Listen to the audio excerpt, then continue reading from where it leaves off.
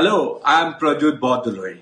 All of us here in India today, we have been caught off guard by the outbreak of COVID-19. Actually, it has affected the entire world population, and India is no exception. As a result of COVID-19, the entire canvas of economic activities is shrinking. Somehow it is reminiscent of the great economic depression that was experienced by the Western world in the fag end of 1920s or early 30s that affected the entire canvas, the entire spectrum of economic activities. More and more unemployment is going to be there. The activities, the condition of the people probably would worsen. But at this juncture, to rejuvenate the economy, the government of the day must play a very prudent policy.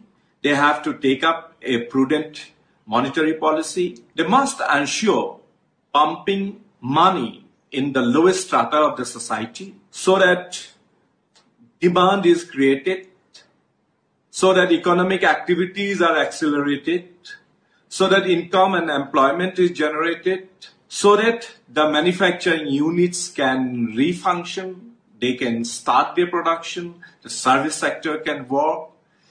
This is, this is uh, going to be a very prudent policy. For that, government must also offer economic stimulus to the industry, to the commerce, and the banking sector also has to play a very, very proactive role. The petroleum and natural gas sector also is being hurt very badly.